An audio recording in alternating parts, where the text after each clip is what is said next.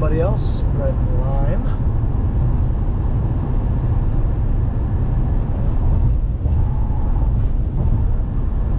Nice. And they're actually loading with a dump truck as well. And anhydrous applicators are out. There's a big 21 bar pulled by a John Deere. There's another one. That's local uh, local ASP by my area. Eberhart's. Llama, llama, llama, llamas, or alpacas, whatever they are. They're doing and their brothers out doing fertilizer today. Basically doing as much as they can in the fields. Well, here's the farm. Well, here she is. So much lime we got left. Oh, let's go ahead and start getting stuff fired up. Oil's good.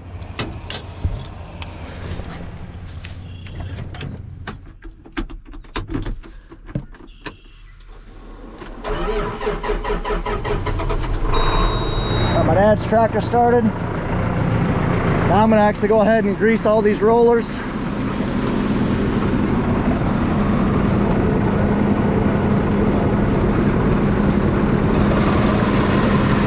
We'll grease all these things and then start loading.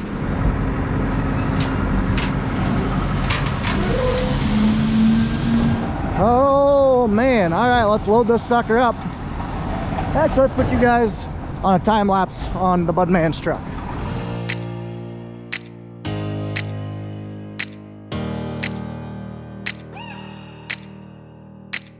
Okay, we were loaded up with probably a little over a dump truck load, probably, I don't know, 16, 17 ton, maybe 18. So that should be good enough. There's something clanging down here, so chain came off. Time to load up again. First load is done. I'm loaded up again and heading back up the hill. This uh, thing's a beast behind me. Having to slow down to climb the hill. We, we're loading her light to get just because we're on the highway. Spreading. Yeah, if you look, it definitely looks like it's throwing more downhill.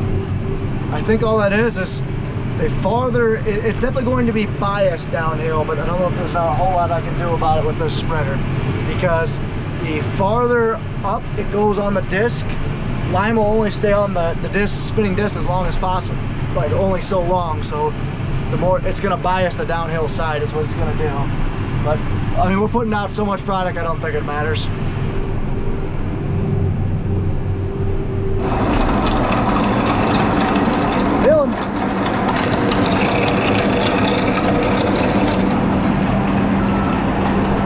Getting her filled up.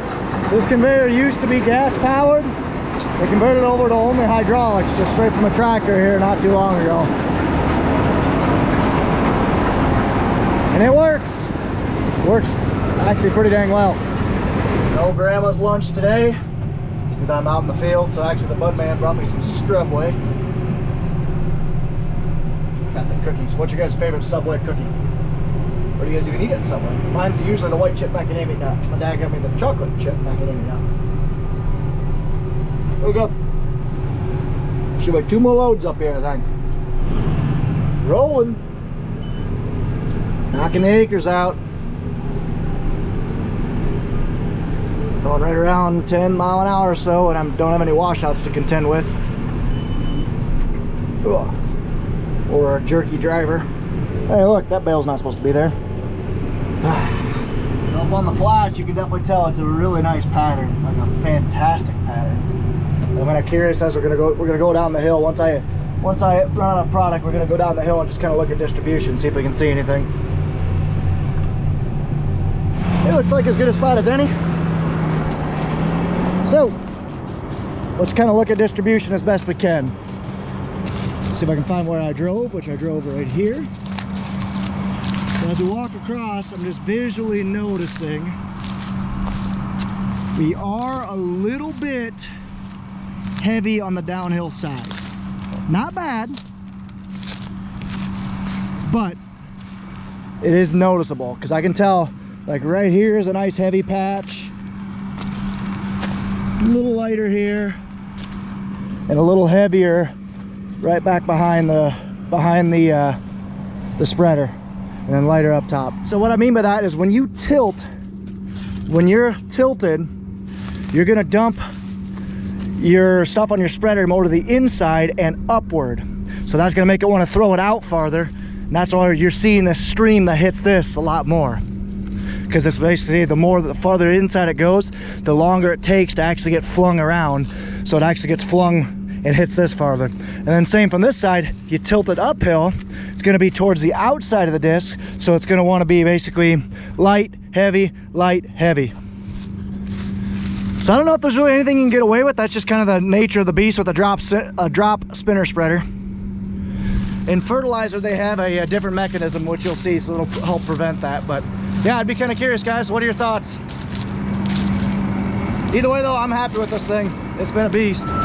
We're all done getting lime up here in Bellevue. So what we're gonna do now is my dad brought a couple shovels down. I actually need to get a half a load. So we'll get a half a load, bring that up on top, finish that up, and then uh, come back down. We'll scrape up everything, clean up. We did this on a graveled part, at least a part that had a base. So it really isn't affecting the pasture a whole lot. I just kind of tore up Dad's little corner here. Sorry, Dad. That's probably good.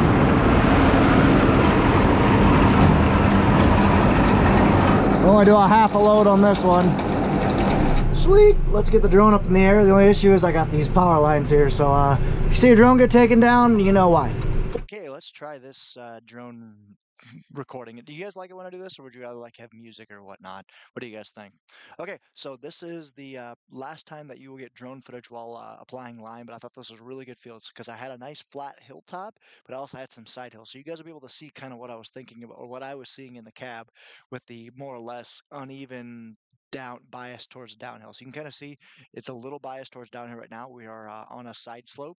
It took about you know at roughly three plus degrees to get it there, but you know like I was mentioning before, it kind of just biases it downhill a little bit. You can kind of see the heavy stream right behind the right side of the spreader as well as on the downhill side. I think I was still covering everything. It's just a little bit biased downhill as I was saying before. So again, like I said, not too worried. You can kind of see for this view right now, it is putting material across the full 60 feet. It's just a heavy stream in this view towards the top, as well as right behind the spreader a little bit on the uphill side. So, but regardless, I think I was still putting on enough uh, material when I'm putting on lime that it really, I don't think it matters a whole lot. Like, yes, it's probably not perfect, but it, it, it's tough to be perfect with a drop spreader. So it's just, I think it is what it, it's going to be what it is. But that was probably the uh, the downhill, the the downfall effect for uh, for this type of spreader. And I'm, I'm kind of curious what Salford's going to come back with the design. But also on the on the on the plus side of things, I mean, this thing was extremely stable in the hills. Like I was beyond impressed in the hills. I went on some pretty nasty side hills, and it was it was impressive. So, like I said, I hope you guys enjoyed this drone footage. Did you guys catch when I almost uh, when I almost struck a wire with the drone? Did, did you guys catch that? If you guys didn't, uh, if you guys did, drop a comment down below where. But also also comment. Do you guys like the style of drone footage, or do you want me to go back to music? And cue me being cute. Well, that was fun. And I didn't hit a power line. I got close. See if you guys can catch it when I actually, uh, when I got close. You guys can drop a comment down below. So we are done with everything up on the Bellevue farm. Now I just got a one acre kind of rented piece that we got. And then a, my five acre piece that I'll get, get on the way home. But for the most part, we spread a lot of lime up here. Over 400 ton. Can't think while drive. That's a pretty good clip, especially for novice guys. Just tells you how good this Salford is, how easy it is. Like I said, I had maybe 30 minutes of training. So this design's proven, it's simple, easy to use. Like I said, I just wish there was some sort of hill compensation because we definitely need that. We have quite a bit of hills in my area, but you know what?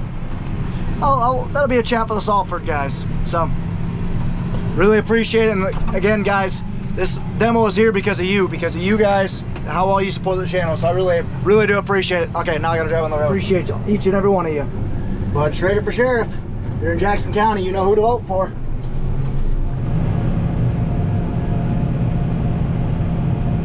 I will say this. I drive a lot of red, obviously, and I drive quite a bit of green as well. One thing that red does have on the green, transmission snappiness. I can fly through the gears in a red transmission, especially the four-wheel drives out right now. It's click, click, click, click, click, shift, shift, shift. Where a Case Steiger, it's more like they double shift for the first uh, eight gears or the lower 12 gears, so you can go shift, shift, shift. So it's a quicker shift as well as they're skipping a gear. So it's, I don't know, red guys, you know how to make a nice transmission. Okay, last load to fill up in Bellevue. Let's get her done. Filling.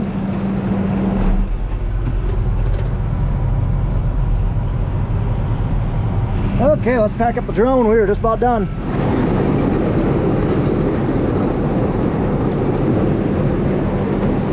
Last bucket of Bellevue going in.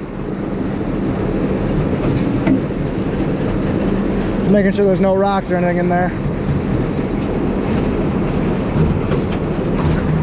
And there we are. All done.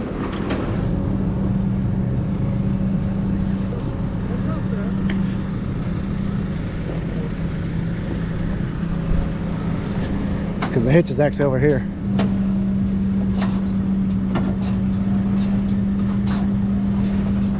Ready to roll. Nice job, Budley man. Okay, let's hit the road, Jack. Don't forget, Bud Schrader for sheriff. Now we are uh, heading back towards home. Spreading. Man, this thing is a fantastic level A and spreader. There's no doubt in my mind. Just about made it back, but this is something I wish I was doing right now. Golfing sometime soon when everything slow down definitely gonna go golfing next week especially if we get some rain beautiful day for it though high of 70 degrees that's why i'm in short sleeves and hydros depot is moving little over 30 hours since i left i am back 400 tons ran through it not too bad oh it's fun that was very fun. And I'm actually, I do, was doing some quick math, guys. I'm really happy with the financials of this thing as well. We'll go through that in a separate video towards the end of the, uh, towards the end of the demo. Okay, Pat should be just pulling in behind me here shortly. So let's go uh, see what's going on. The bud man made her back. So we'll go get this thing set up. We got four loads of lime coming in.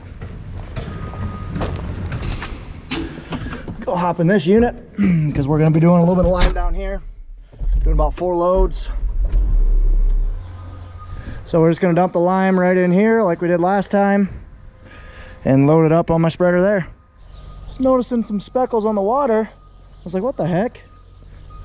I have a hat on, so I couldn't really tell if it was raining, so I looked up and sure enough, it's raining. I mean, it's just spitting.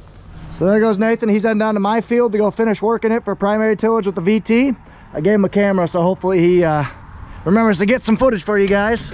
And for the editor of this, AKA myself, make sure to look on Nathan's GoPro. All right, let's let's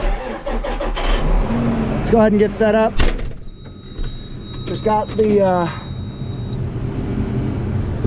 conveyor set back up over here, so now we'll pull the fertilizer spreader underneath there.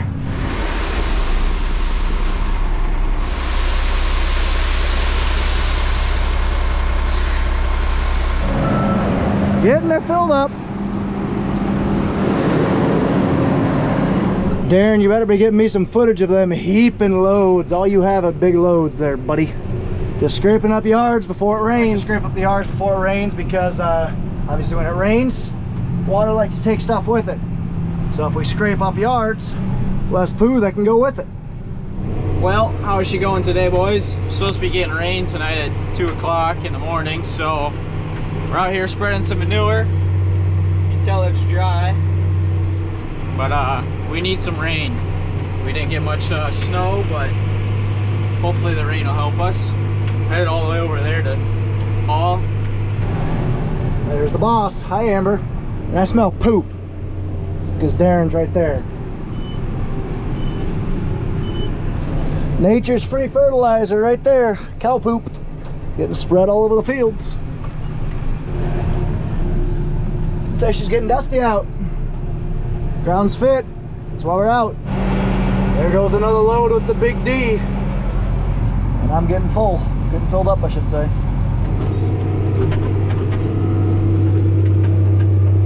Looks like we're empty. Got about three more loads to go, and here comes Ron Ronald's in the distance, coming with the 340 and the sulfur. The man, the myth, the legend. Oh, yeah. Glad he was so far away. None of you guys needed to see that crap. Steepest hill on the farm right here. She is thick. Beautiful view though. Spreading some lime. Definitely gonna have to downshift for this one.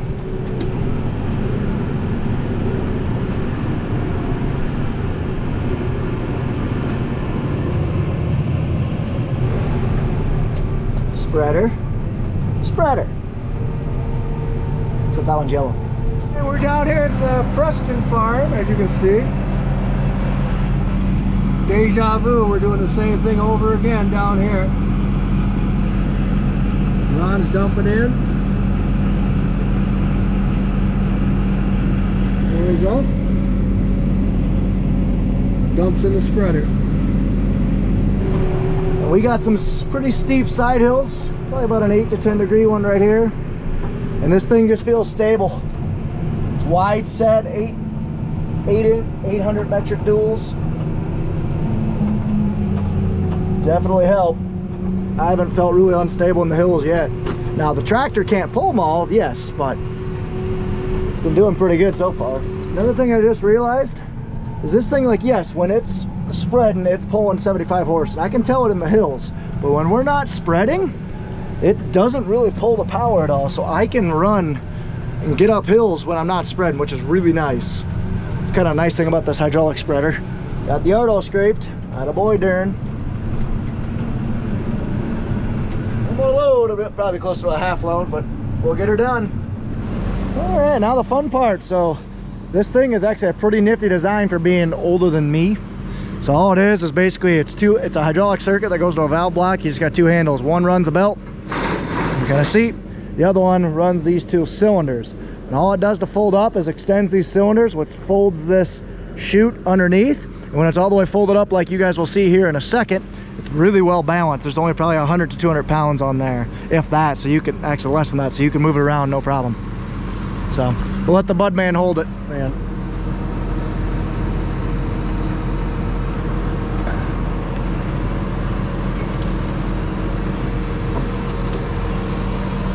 Walking backwards.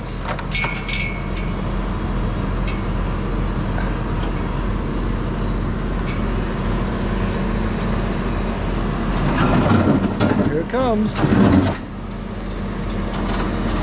And there it is. You know what I mean? She's pretty well balanced. You can pick up on that tongue like it's nothing. Pretty impressive. I know he's not that strong. You shut your mouth. now we're just safe chaining it up.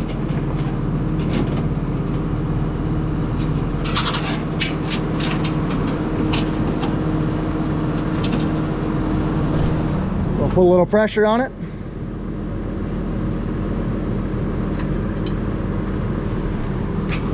These things aren't going anywhere. Super simple. I love it. Used to have a gas motor on it, but they kind of converted it just to, like I said, just hydraulic hoses straight out the tractor. There he is. That's his last load of the night, and this is my last load of the night. Haven't done much filming since we got this thing. Uh, I guess I've only had it out a handful of times, but running a 30 foot Kuhn Krause Excelerator, 8000. Uh, it's doing pretty good. Pretty happy with it so far. Uh, this is some hilly, rocky ground, so we didn't want to hit it with the chisel. We're gonna hit this, hit it with this instead, and we might hit it again before we plant into it. Uh, this is Ronald's farm, and I did that piece over there behind the trees, and that piece on that side hill there. Um, she's a hunk of iron, that's for sure. I got the 400 Steiger on it right now, and pretty much giving all it, all it's got, as you can tell. You can tell when I kind of go uphill and stuff over on that field. It's a little lighter, doesn't work as much ground, but uh, it's still doing something at least. So, pretty happy with it so far. This might be the last lime spreading that I do. Got two more passes that haven't been done, but I don't think I'll have enough product for that. Not too bad though. Like I said, in the hilltops, I can cruise, probably even go 15. Hawks going hunting.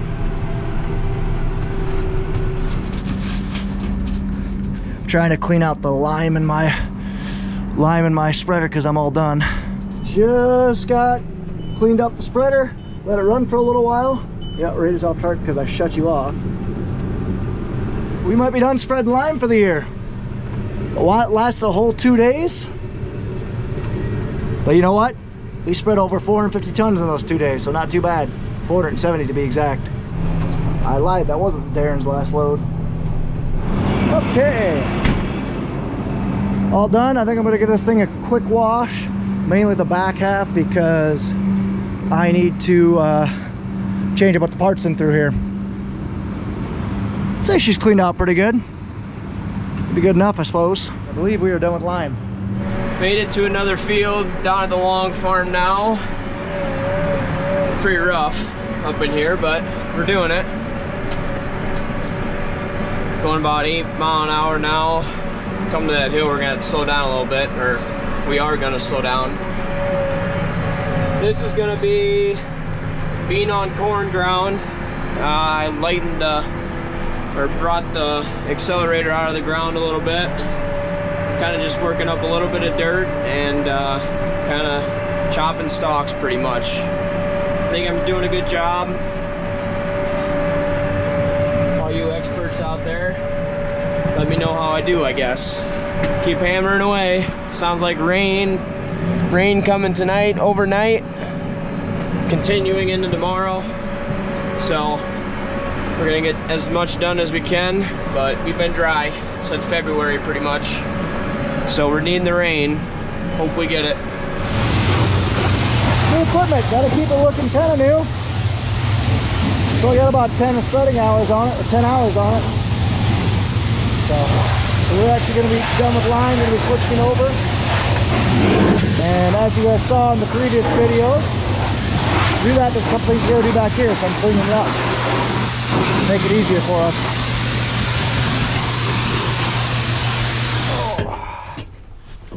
Okay. All wet, but clean enough. Yes, I know the back's not perfect, but it'll work.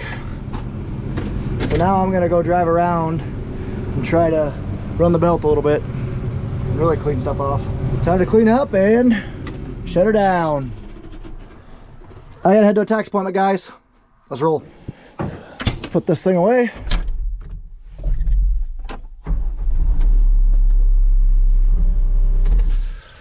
Darren is off taking the last load of poo out back. So they've cleaned out two yards today. Nathan's out VTing. Curtis has actually been out on the out on vacation this week. He's out snowmobiling out west. So that's where he's been. Otherwise, it'd be nicer for him to be around because he'd be in the field doing something. But, oh well. And obviously, and I, I do apologize, guys. I have been, my knee has been doing better. Torn meniscus and torn cartilage is what it ended up being. And then I, uh, I've been going through physical therapy to get it right. Got finished up. Heading her back home.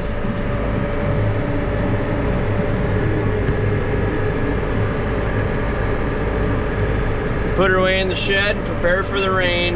Can't beat an open highway this time of the night during the week. And we made her. Shit, lights shut off. Time for bed. Well, I just got done with the tax appointment. Always fun to do this time of year, that's for sure. So I am gonna head home and call her a day and probably call it a week because uh, we're supposed to get an inch to inch and a half of rain tonight, which let her come. And then it's supposed to cool down to get actually colder than average. We've been well above average lately, so. You know what? Farming might be on a pause for a little while, but we got quite a bit done. Nathan's still out chewing, chewing ground with a vertical till.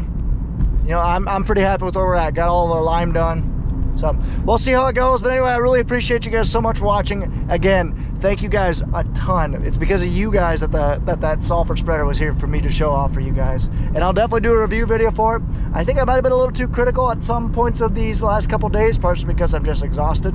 But I will do a full-blown review um, before we uh, switch it over to a fertilizer. So appreciate you so much for watching. Take care, take it easy, stay safe, and ta-ta for now.